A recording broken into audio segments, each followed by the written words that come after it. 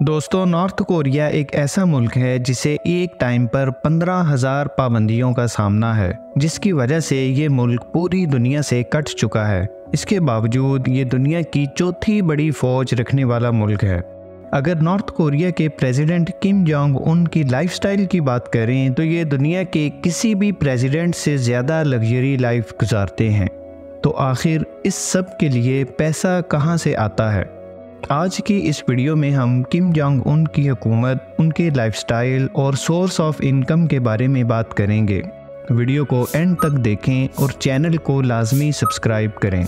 दोस्तों किम को ये हुकूमत वरासत में अपने फादर से मिली। उनके फादर से पहले उनके दादा नॉर्थ कोरिया के प्रेसिडेंट थे। जैसा कि आप जानते हैं कि ये फैमिली गुजशत चंद दहाइयों से नॉर्थ कोरिया पर रूल कर रही है। ये कहना भी गलत नहीं होगा कि मुल्क पर इस ख़ानदान की डिक्टेटरशिप कायम है। किम जोंग उन स्मगलिंग और दो नंबर धंधों की वजह से अक्सर इंटरनेशनल मीडिया की हेडलाइंस बने रहते हैं। फिर चाहे वो दूसरे ममालिक पर साइबर अटैक्स हों या डार्क वेब पर असले की खरीदो फरोख्त। एक रिपोर्ट के मुताबिक किम की पसंदीदा वाइन भी स्मगलिंग के ज़रिए कोरिया लाई जाती है। जब से Kim Jong Un North Korea के प्रेसिडेंट बने हैं, इन्होंने सिर्फ़ 10 बार ही ट्रैवल किया है, जिनमें ज़्यादातर विजिट्स चाइना और रशिया के हैं। लेकिन इनका ट्रैवलिंग स्टाइल बहुत ही आलिशान और लग्जूरियस है।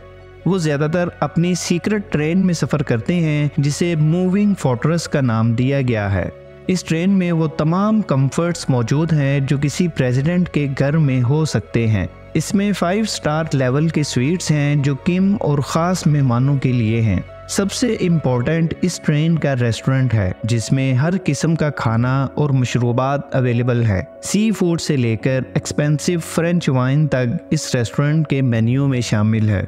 इस ट्रेन को दो अलग ट्रेन एस्कॉट करती हैं। एक इसके आगे होती है जो रास्ते में मौजूद किसी भी खतरे को पहले फेस करती है। जैसे कि ट्रैक पर किसी बॉम्ब का होना या फिर कोई अनयूजुअल एक्टिविटी होना। इसमें मौजूद कमांडोज हर छोटी से छोटी चीज़ पर नज़र रखते हैं। और दूसरी ट्रेन पीछे चलती है, जिसमें एमोनेशन और आर्मी कमांडोज परे होते हैं, जिनका काम किसी भी खतरे में अपने सुप्रीम लीडर को बचाना होता है। इसके अलावा एक हेलीकॉप्टर पूरे सफ़र के दौरान इस ट्रेन के साथ साथ फ्लाई करता है। अगर ये तमाम फोर्स कम भी पड़ जाए तो करीबी एयरपोर्ट्स पे एक कार्गो प्लेन, एमोनेशन और कमांडोज के साथ टेक ऑफ़ के लिए रेडी रहता है। अगर ट्रेन की बात की जाए तो इसकी तमाम विंडोज़ बुलेट प्रूफ ग्लास से बनी है। इसकी छत और निचला हिस्सा भी स्टील से बना है, जो एक्सप्लोजन की सूरत में भी ट्रेन की बॉडी को नुकसान होने से बचा सकता है। ट्रेन के अंदर भी अलग अलग किस्म के वेपन्स इंस्टॉल किए गए हैं, जिसमें anti tank missile machine guns और एयर डिफेंस सिस्टम है, जो आसमान से आने वाले किसी भी खतरे से ट्रेन को महफूज रख सकता है।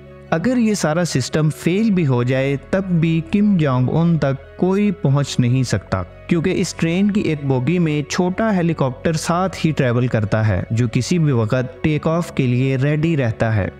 जब भी प्रेसिडेंट की ट्रेन किसी स्टेशन से गुजरती है तो पूरे स्टेशन की लाइट बंद कर दी जाती है। हत्या के बराबर वाले ट्रैक का भी कनेक्शन काट दिया जाता है, ताकि कोई और ट्रेन ना गुजर सके।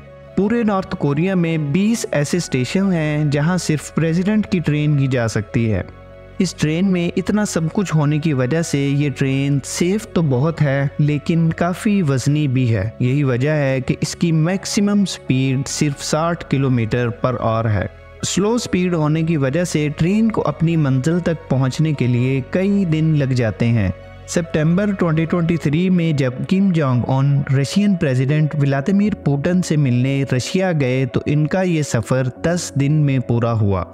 आप सोच रहे होंगे कि किम जोंग ऑन ट्रेन में ट्रेवल क्यों करते हैं? दरअसल, किम फैमिली का ट्रेन में सफ़र करने का पुराना ट्रेडिशन है, क्योंकि किम के बाप दादा भी इसी ट्रेन में सफ़र किया करते थे।